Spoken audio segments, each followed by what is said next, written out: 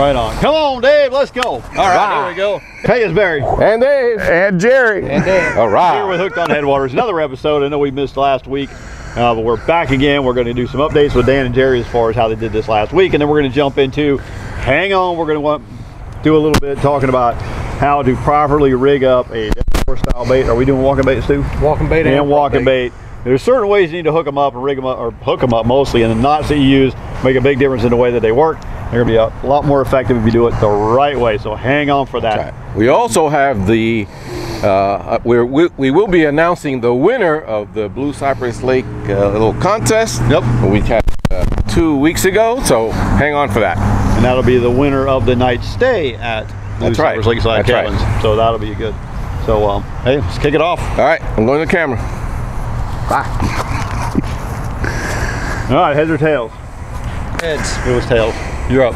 What's up? Go ahead. How do your week go? Good, man. Good. We uh, fished, I think, three days this week. Okay. Um, Good numbers of fish. Still doing well. Still catching them. All right. Um, They've kind of changed tactics a little bit, kind of changed where they are a little bit. Um, but yeah, we're still catching them, still doing good. All right. So this week we're going to do it again. Good numbers. at- Good sizes. Uh, Yeah, day before yesterday we caught 25, 30, I think, but not anything five pounds, five and a half pounds, five pounds, four and a half pounds, something like that. Nothing any bigger than that right now. All of them are post spawn fish. I was just about to ask. Okay, so you're saying mostly post spawn fish. Yeah, they're all seen that a post-spawn fish. Okay. So is, So- is, is the spawn done? I think it is. What do you think, Dan? Tail I end. think for the most part, it's it's Yeah. about You may have a handful of fish out there that are still, there. but for the most part, it's done for this year. Unfortunately, it's sad. That might be uh, something to ask Ken. I bet he does. Yeah. Yep, yep. Yeah. If somebody wants to get hold of you to take to get a guide trip, where do they, who, where do they get hold of you at? Uh, Website. www.com, Vero Beach Big Bass Fishing Charters. www.com Big Bass. But you said that all. Vero all Beach Big Bass Fishing Charters. Dot com. Vero Beach Big Bass Fishing Charters. Dot com. Yeah, that's or it. they can come Yeah. to our website. or they can come to Yeah, Headwaters. You'll get the exact information. He, Jerry's not a techie guy. He can No, I'm not, but- that's what he does. But yeah. all sense above his head. So, but, hook him up. You're gonna find him over there on that website or on our site. Hey, I got a question. Any change in how you fish with live bait? Um, I think it's changed. Well, right now, only fishing shallower because the hydrilla is getting higher and higher. Yes, it is. So anywhere that you were fishing 24 to 30 inches, 20, 36 inches deep underneath the cork before, I think now you're around 18 inches, maybe two foot. All the hydrilla is coming up on the surface now. There are places that we fished two or three weeks ago that it was still three feet below the surface. Now it's 18 inches below the surface. So yeah, it's changing. Um, actually seem like I'm doing better on, on the shiner part on free lining instead of using the corks in a lot of areas. But I know a lot of guys are catching fish right now um, on top water plugs too. A lot, a lot of top water baits going on right now. So, but yeah, they're changing. They're getting into their, you know, their earlier summer patterns. You know, late spring, early summer, and they're getting ready to do what they're going to be doing for the next three or four months. So it's changed a little bit, but you can still catch fish. Yeah. So, so we've had a lot of rain in the last few weeks. So I- impact. Well, it dirtied up the lake a little bit. It looked to me like it dirtied the lake up a little bit. Um, even on the south end, it was a little bit dirtier. Usually, it's really crystal clear down there. I actually walked over to the Farm 13 structure. I walked up on the dike, the levee right there, to see if they had the gates open. I kind of figured with as much rain that we had had, they would open the Farm 13 gates up, and you know you'd be able to catch you know a lot of fish in there right now. All that bait coming through there, but uh, they were closed. But um, yeah, I mean, you know, it's just a typical late spring, early summer fishing. That's what's going on right now. They're definitely starting to change. All right. And when you're talking about change, what you're what you're seeing change is they're moving. All these fish that were in these flats and these bedding areas, these thousands of fish that were all stacked in these certain areas, they're, they're all they've all dispersed. Um, I'm actually finding now that I'm catching more fish where I was catching them back in early November and December. And then they kind of left a little bit, and you know, late January and February, those fish were not there anymore. I'm kind of finding now that those fish or some fish are coming back in those areas now. But uh, it's a lot of smaller fish, buck bass, you know, two to three pound fish. You know, it's I haven't caught any I did catch one a week and a half ago in Kenansville that was eight pounds. A customer did. Uh, still producing big fish. You just, it's a hit and a miss. Sometimes you go in there and you do well, and sometimes you don't. But if you do go in there and catch them, they're going to be big fish. Yeah, right. So, but yeah, everything's good, man. Yeah, so just go back a couple months, folks, and Yeah, all videos from then, whatever he was telling you back then, then just go with that. Yeah, they're actually. I'm finding them right now, man, on on on, the, on, on these ledges again, starting to come off in these canals and this hydrilla, and they, they're just prowling. They're just prowling up and down through these or these ledges and these canals, these little drop offs, pockets in the hydrilla, and they're just prowling back and forth from one end to the next, man. They're just catching those baits going through there. Gotcha. Right, Dan, how was your week, bud? It was good. It was good. Uh, busy. Uh, been catching similar to what Jerry's saying. A lot of smaller fish, you know, and, and uh, even little dinks like sub 12 inch. A couple of them. Right, right. You know, they got a big attitude. They eat this big shiner sometimes. Um, been catching a lot of fish. I did have some good good quality starting off. Let's see. Can't remember my days, but I did have a guy uh, caught a nine even uh, on a shiner on Saturday. Nice. But it was the only big fish we got. So then uh, the last yesterday and the day before had seven, little over seven, two different days. Uh, so, but again, that was the only big fish. Today, we actually had a good day today. I think the, kids probably caught by the time we're done 35 fish. Uh, the biggest was about five and a half. Uh, but we had a, a lot more, so that the size was a little larger. Got a lot in the three to four pound range. So I'm getting some size back. Yeah, yeah. Well, nice fish. And, Yeah. and what's, what was the problem here today?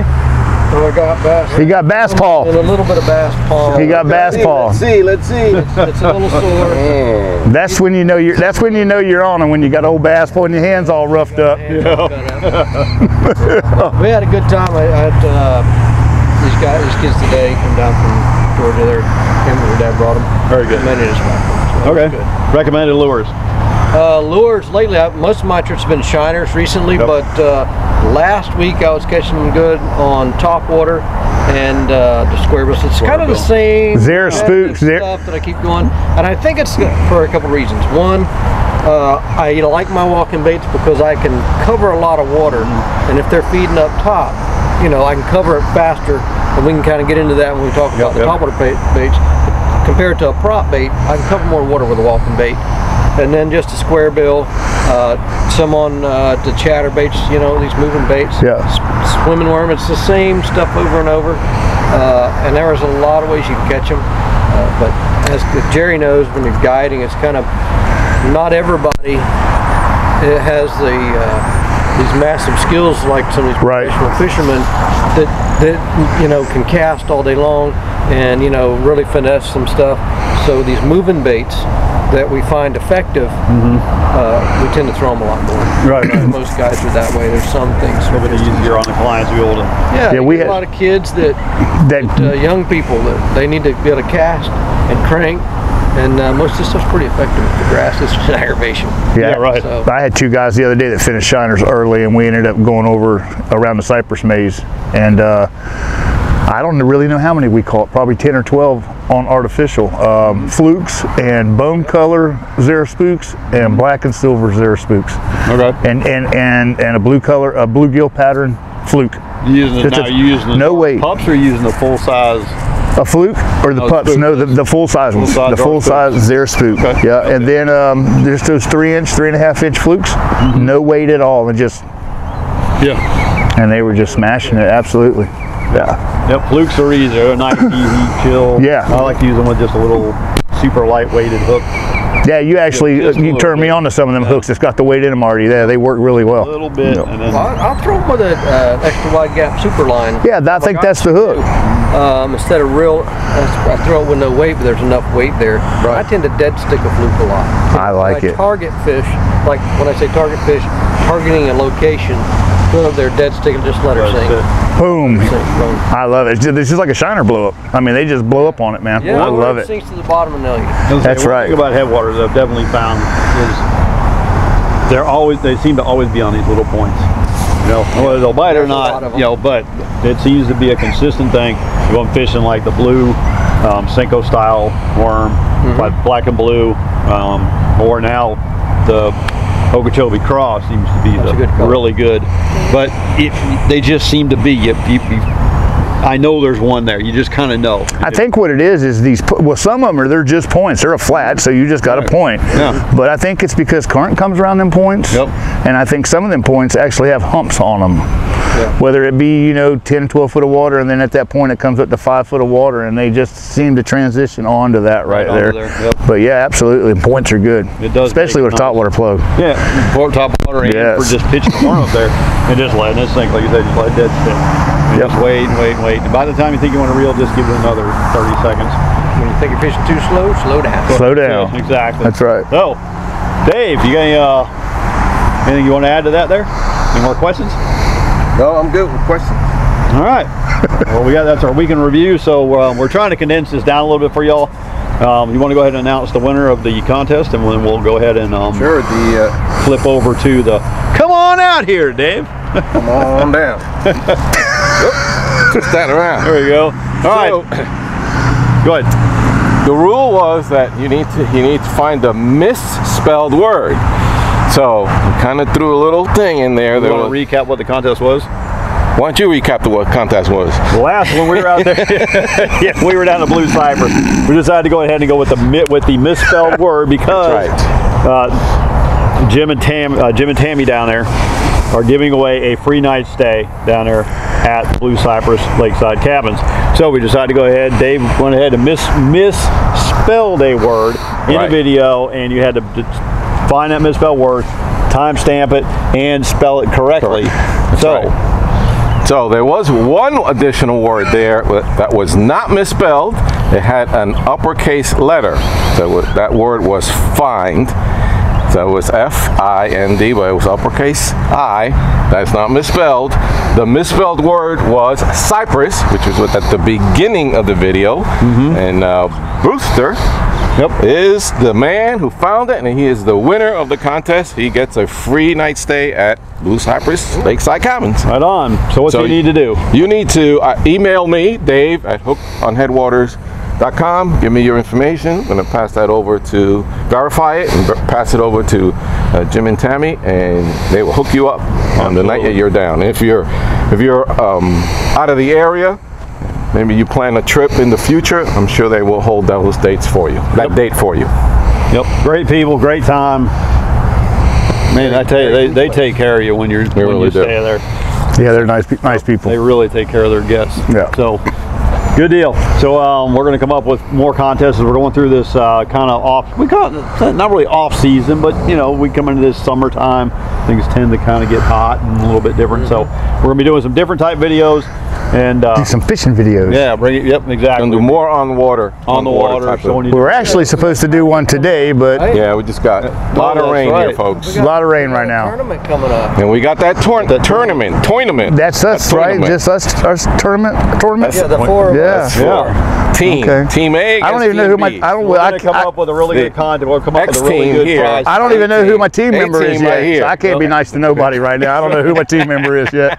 So here's what we're going to do, Dave. I'm just throwing this. This we're going to just put this out. there. Oh, she said We're me. going to go ahead and uh, come up with some prize packs, and we're going to do. We're going to break it down by. Oh, we're yeah. going to decide who's go, who the winning team's going to be number one, and Yeah. the weight, The or weight. well, actually the weight, we can weight or length. Either way, whatever it's going to we be. got scales. Can't we weigh a Yeah, let's weigh Wait, a wait, fish. wait, wait. We want- So I want to know though, who's with who here? I need to start. Well, I thought you and Jerry were Strategizing. talking smack last week. That's right. Okay, well then we'll, I'll roll with Barry. Check that video out. They were Jerry was talking smack. 18. From what I Right just, here. what I just 18. from well, 18. well, y'all can a on out there in the lake. From what I just heard from Dan, I'm just gonna sit right there at the ramp and do my deal.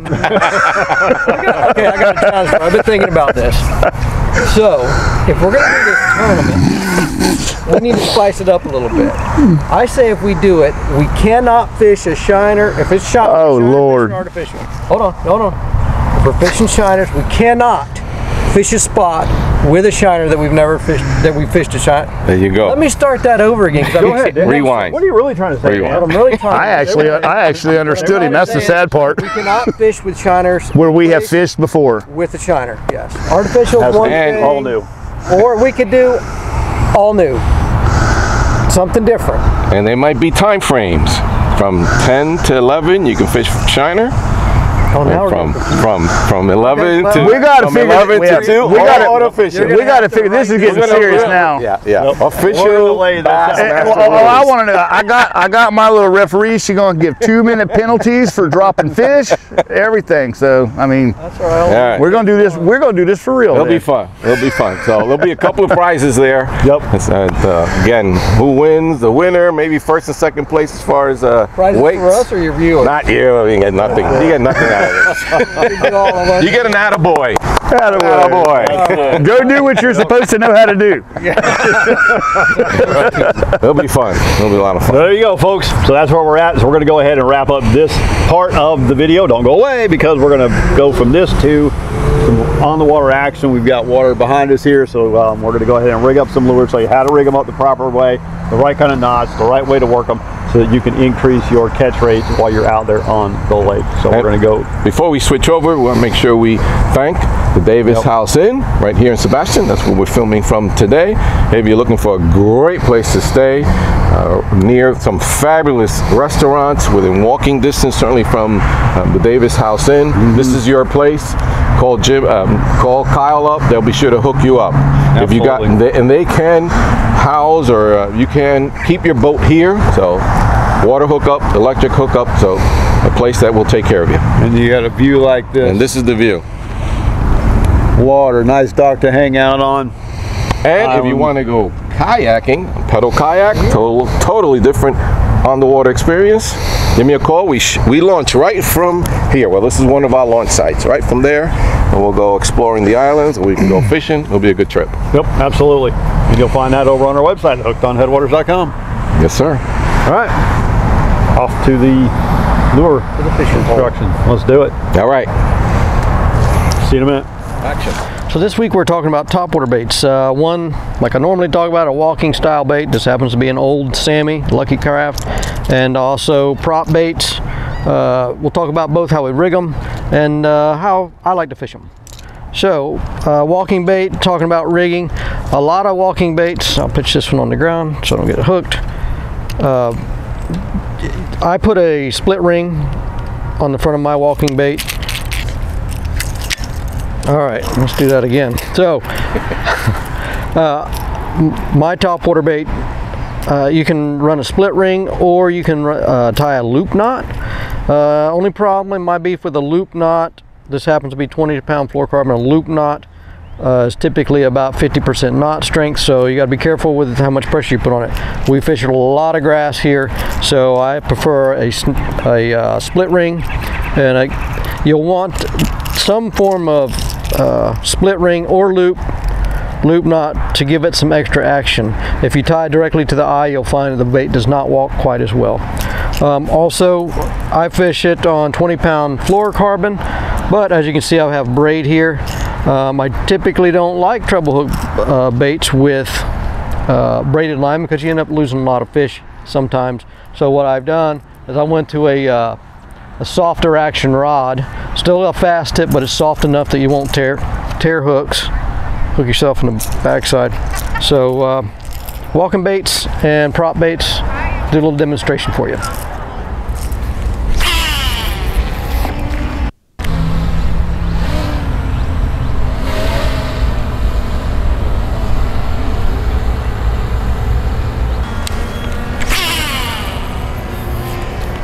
Okay, so something that I've found with the uh, walking baits that they they can be difficult to walk if you've never done it before.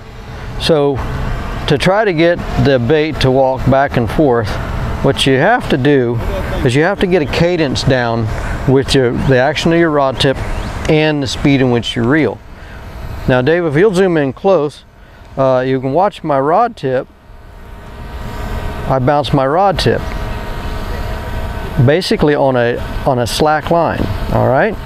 And it gets to walking. Now if we uh, take a second and zoom in on the reel you'll find that I don't necessarily uh, reel continuously. Okay. So watch my hand. See how it's not I'm not it's not a steady reel. You get in a cadence with it. It takes a little bit of practice all you're doing is you're picking up your slack line and you're just bouncing your kind of bouncing the rod tip on a slack line and it causes the bait to give it that walking action. Okay, so as you can see, I'm not I'm not doing it in a steady reeling motion.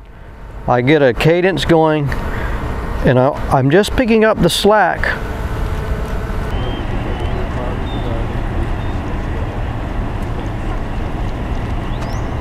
Okay, so we're going to talk about a prop bait now. Uh, fishes much differently than a walking bait. Um, as you'll notice, there's a prop on each end that spins, creates a lot of noise and activity in water, a lot of bubbles, throws a lot of water around. This happens to be a Smithwick. Uh, it's like a Devil's Horse. Uh, pretty cool bait, catch a lot of fish on it. Been a lot of fish caught on this bait over the years. So any prop bait that you have fishes similar, similarly to this one. So we'll give it a give it a go. There's Mr. Shark again. Let's see if we can get him to eat.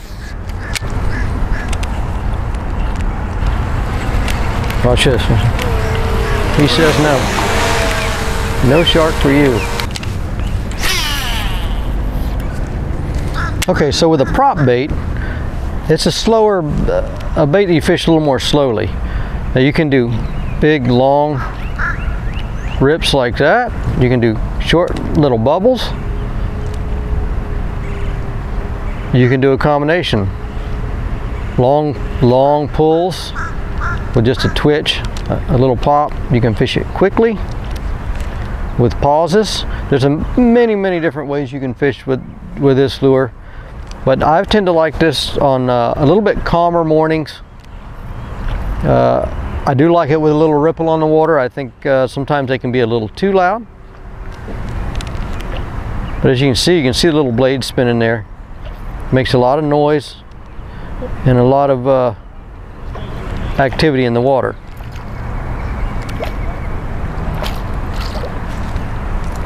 Okay, so I, I like to uh, fish target specific places with baits like these a lot of times.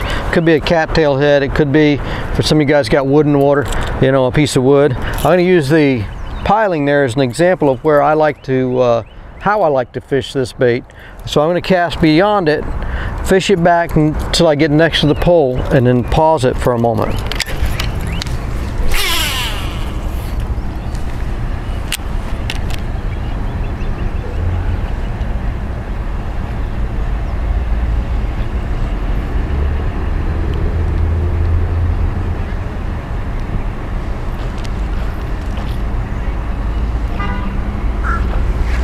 Okay guys, so we covered uh, just two of the many uh, topwater baits that you have available. Prop baits, walking baits. Um, you cover a lot more water with a walking bait typically than you will a prop bait. Both can be very effective. Uh, my opinion is you change up your re retrieve speeds until you figure out what the fish want to eat. So not just speed, cadence, and uh, the action. Change it up, get more bites.